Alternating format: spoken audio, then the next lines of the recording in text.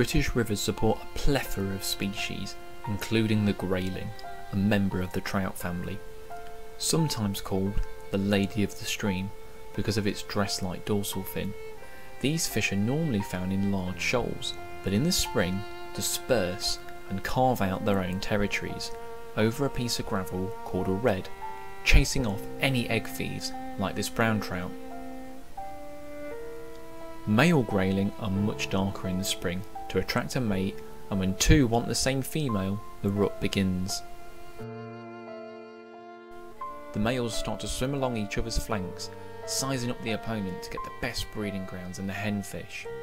They headbutt, bite, and slam each other until the intruder swims away and the male goes into the shallows with the females to spawn.